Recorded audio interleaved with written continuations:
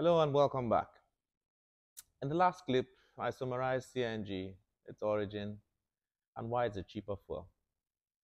Today, let's talk more about CNG before we get into all the technical, hands-on stuff.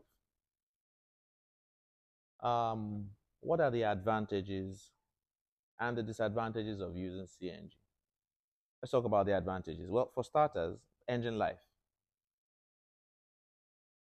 With CNG, your engine will run much quieter. Engine oil will stay cleaner for longer.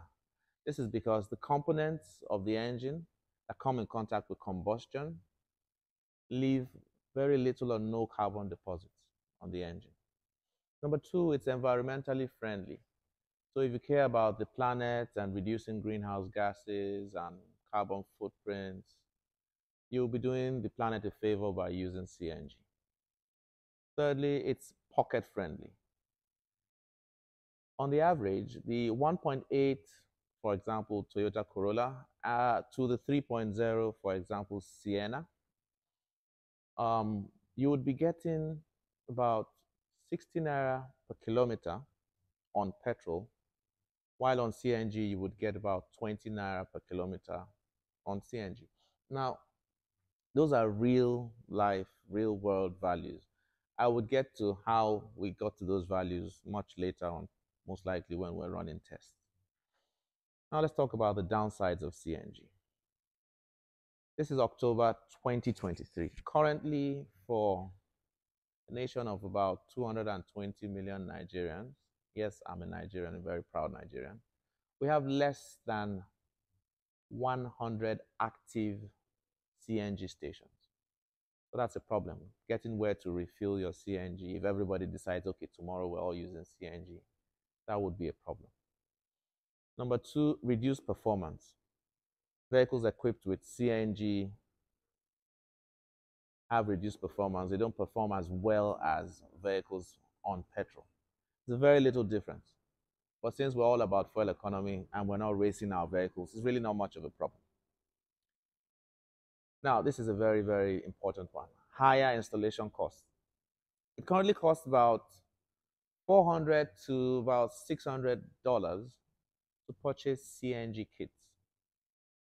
Now, CNG kits are the components that all come together to convert, you use, you use them to, you bring them together to, uh, what's the word, to convert your vehicle to the dual fuel. So it costs between 400 to 600 dollars, and honestly, that is uh, that is currently with the dollar to naira thing, it's it's really expensive. Those costs could come down if we could locally manufacture even the, just the cylinders. Then we also have um, the reduced boot space. The Americans will call it the trunk. So if you had a boot space of probably 200, 300 uh, liter boot space, your cylinder would occupy between 65 to 85 liters. So you have less of the space to use for your personal belongings. And then finally, limited range. Your average 65 85 liter CNG tank would take you between 165 to 200 kilometers. So it means you would have to on a very long stretch or a very long trip, you would need to refill so many times. Whereas your 65 liter fuel tank will take you about 600, 700 kilometers. So, what vehicles or engines can be easily converted to CNG? Well, any engine that runs on the principle of spark ignition. So, what is spark ignition?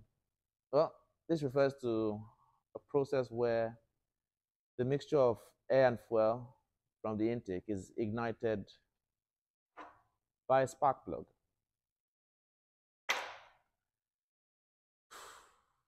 Can CNG kits be installed, installed on diesel vehicles? Yes, they can.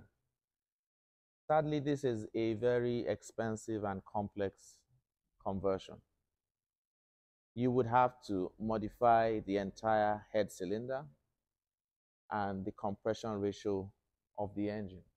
Diesel engines run on compression ignition. That is where you would have um, very high mechanical compression, which creates the combustion. We'll discuss more about diesel conversions in another video. So, what CNG kit is recommended or is required for your vehicle?